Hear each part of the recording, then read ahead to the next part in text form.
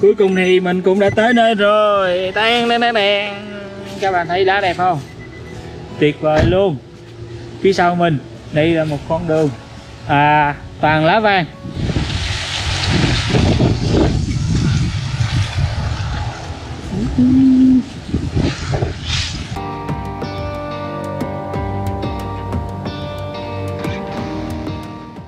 Hello, good morning, chào các bạn. Thì à, hôm nay à, bắt đầu à, Út cũng đã bắt đầu vào thu rồi. Thì à, à, vợ chồng mình à, sẽ bắt đầu à, đi à, Nay là tầm giữa tháng- tháng tư. Bắt đầu là mùa lá vàng.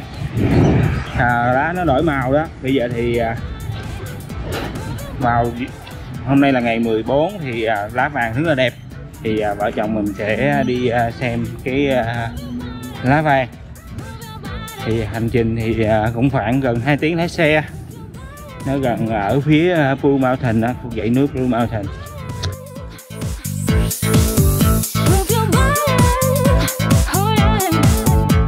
Thành trên đường đi hôm nay thời tiết rất là đẹp.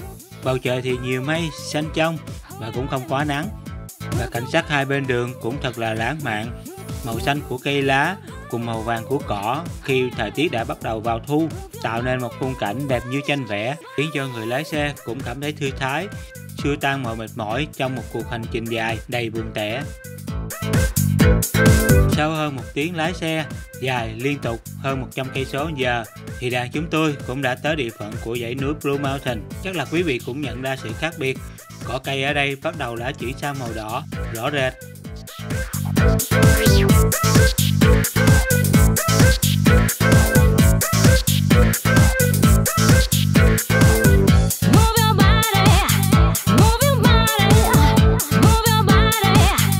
Hello các bạn, đây là mình đang ở à, dẹp chạm dừng cho một cái quán cà phê.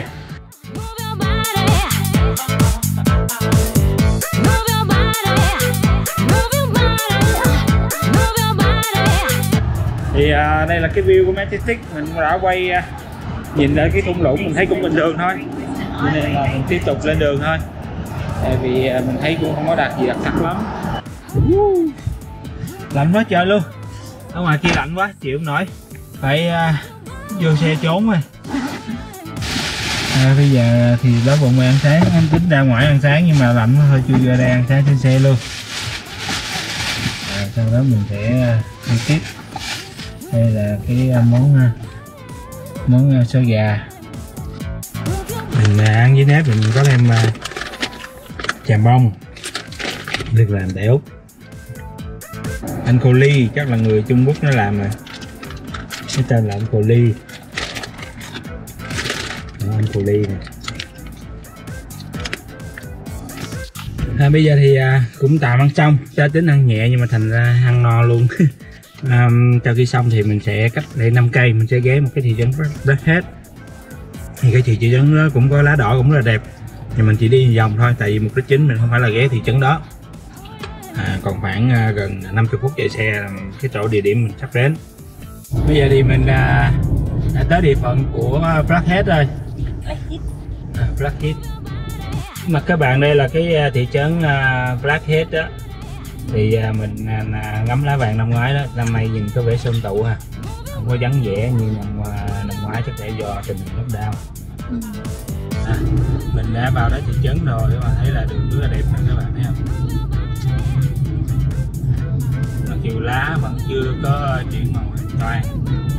Nhưng mà nó cũng đã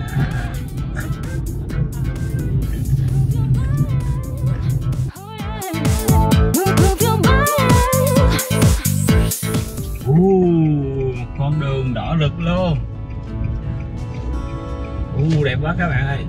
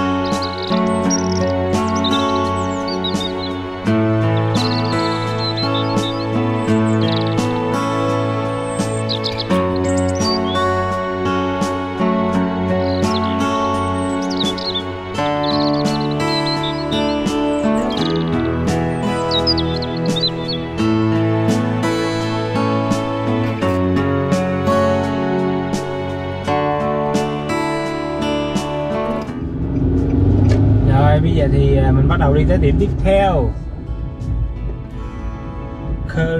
bắt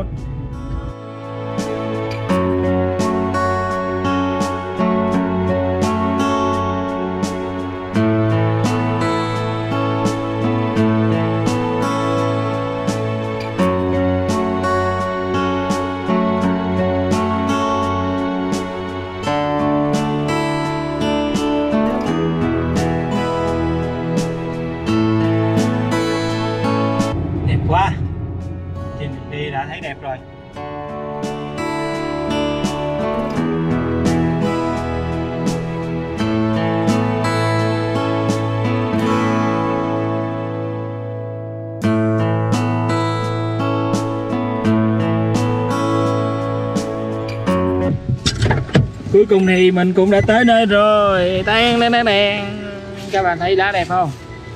Tuyệt vời luôn. Phía sau mình đây là một con đường. À, toàn lá vàng.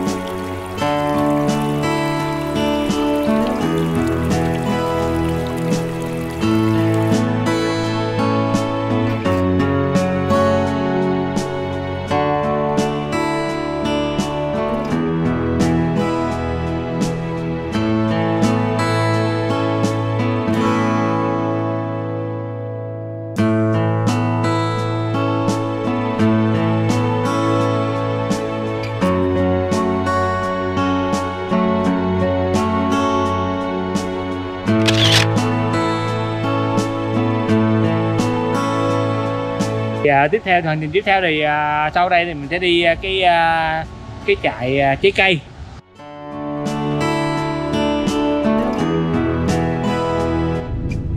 Thì à, trên đường đi thì à, mình thấy có cái cảnh rất là đẹp ha. Cho nên là mình dừng lại mình sẽ à, quay vài khúc. Tại vì à, mình cố gắng mình quay tại vì mình không biết lúc nào mình có thời gian mình quay trở lại đây hay không.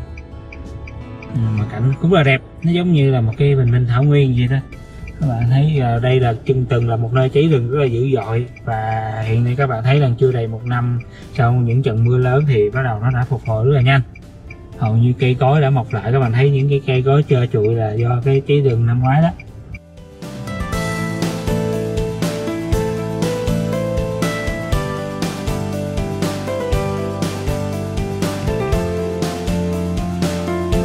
Cái cây đó, nó bị cháy rừng đó, nó đang thui đó bây giờ bắt đầu nó mọc lại cái mới rồi ha.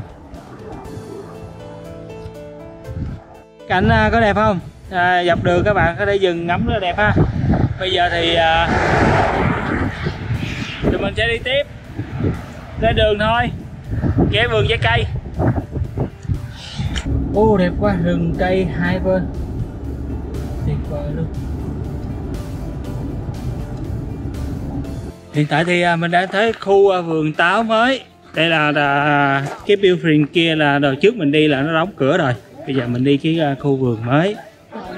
Apple animal. Animal over there. Uh, có gà kìa. Nếu mà bạn nào thích uh, trứng gà gì đó lụm trứng gà. Đó trứng gà thỏ. Dê ù thúi quá thúi quá à.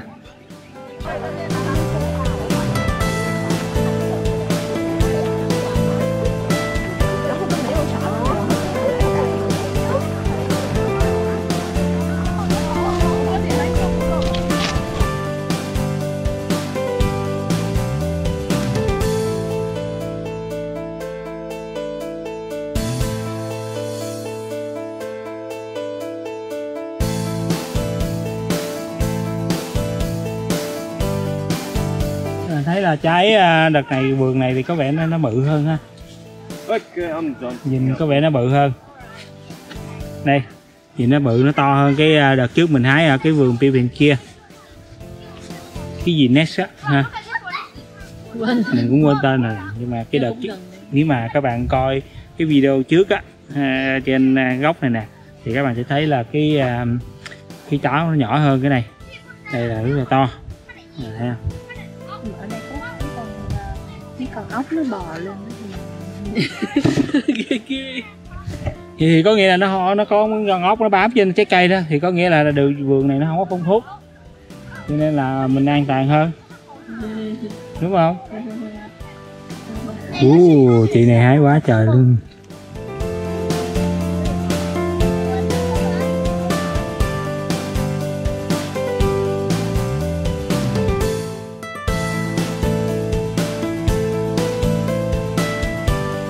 bây giờ thì à, không có gì để lụm hết chỉ có táo với cà chua thôi. À, mình chỉ lấy đại khái vài cái rồi mình à, ra ngoài mình mua thức uống. Cái nước uống à, đóng chai nó giống như chai bia vậy đó nhưng mà nó rất là ngon nước lên men của trái cây.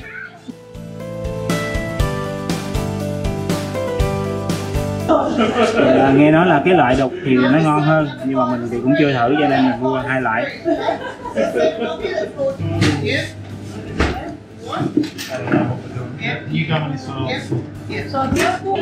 đó cái mấy cái chai này. Ở ngoài kia nó bán rẻ hơn đây bán hơi mắc. Mình à, mua cái à, thức uống hồi nãy ở ngoài đây, đây bên đây nó rẻ hơn. Cylinder mình chỉ vô đây mua thức uống thôi.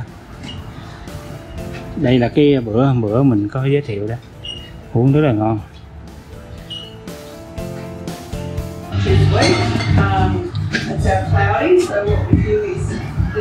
này là bún lại không có cồn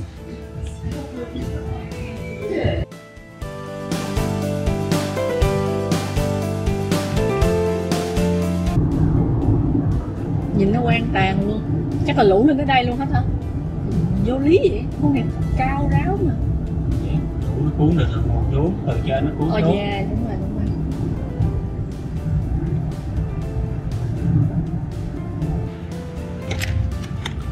thì à, bây giờ mình đang trên đường đi về. Mình ghé dọc đường à, nghỉ ngơi. À, à ghé McDonald à, đi toilet với lại à, mua chút đồ uống. À, thì à, chuyến hành trình nguyên ngày hôm nay thì à, tới đây là mình chấm dứt rồi. Bây giờ thì mình chỉ ra trên đường đi về thôi. À, có một số cảnh à, đẹp thì mình cũng tranh thủ quay cho các bạn xem dọc đường. Giới thiệu một chút về cái à, nước úc. Thì à, tới đây thì chắc cũng trời tối rồi chắc là mình sẽ à, không quay nữa. À, và cuộc hành trình tới đây thì ừ, còn khoảng gần à, cũng khoảng gần 40 phút mới về tới nhà. Nhưng mà nghỉ trên đường thì chắc cũng không có gì đặc biệt. À, vậy thôi. À, xin cảm ơn à, các bạn đã theo dõi cuộc hành trình của mình. À, hy vọng là cái à, video của mình à, có thể làm các bạn có những cái nhìn mới về nước úc cũng như là có à, nếu mà các bạn những các bạn ở úc đang có dự định đi thăm kho lá vàng thì nên đi vào lúc này tại vì đây là một trong những cái à, dịp giữa thu và rừng lá lá vẫn còn trên cây nên nên còn rất là đẹp chỉ mà trễ hơn một xíu có lẽ lá rụng hết rồi thì à, nó sẽ không còn còn đẹp nữa. Và xin cảm ơn các bạn đã theo dõi các bạn ủng hộ like và subscribe và share kênh của mình à, và bấm vào cái chuông để theo dõi và mình có những cái video và không- không bỏ lỡ những cái video của mình. Mình sẽ cố gắng làm thêm những cái video à, bổ ích thêm để phục vụ các bạn. Xin cảm ơn và chào tạm biệt. Chúc các bạn một ngày tốt lành.